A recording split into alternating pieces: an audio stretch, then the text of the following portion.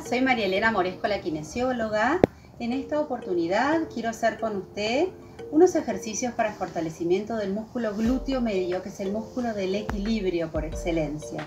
Acostados en la cama de costado, vamos a flexionar bien adelante la pierna de abajo para estar en una posición más estable. La pierna de arriba se va a mover hacia arriba y abajo, pero siempre por detrás del pie apoyado.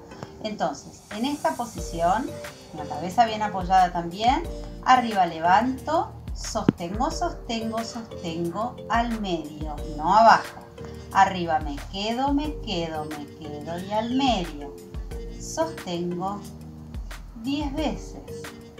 Después me voy a quedar acá arriba manteniendo cuento hasta 10 y punta talón, punta talón, punta talón 10 veces.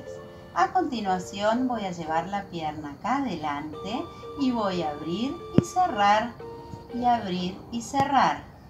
Levanto, mantengo, mantengo y bajo. Sostengo, sostengo, sostengo y abajo. Último ejercicio en esta posición. Acá adelante la pierna, adelante pateo y doblo. Y pateo y doblo. Sostengo, pateo 10 veces y pateo acá y pateo acá y pateo adelante y pateo al costado. Va y va.